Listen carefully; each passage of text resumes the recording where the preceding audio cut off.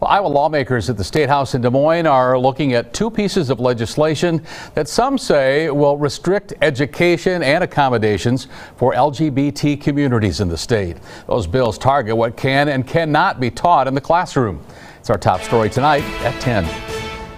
The first is House File 8, which would restrict instruction relating to gender identity and sexual orientation in schools from kindergarten through third grade.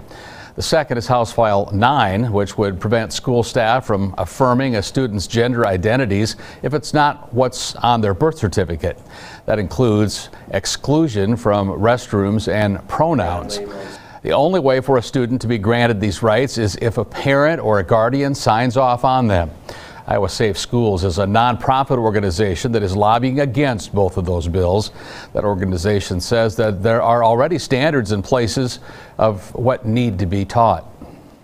Core standards are very clear about what should be taught, both Common Core and um, the Iowa core standards are very clear about what should be taught and what is age and developmentally appropriate.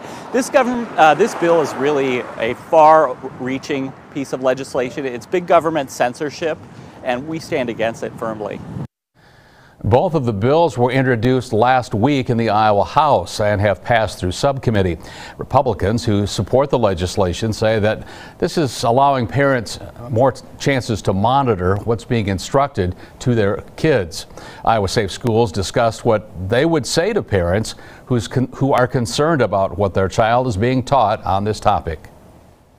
I would say, as someone representing an organization who writes curriculum uh, for this age, but also high school and middle school level, um, educators are working their best to ensure that their curriculum is not only age appropriate, but developmentally appropriate for uh, that student.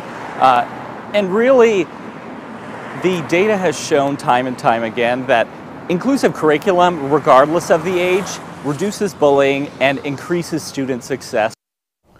Both of the bills are headed to the House Education Committee tomorrow for a session at 11 in the morning.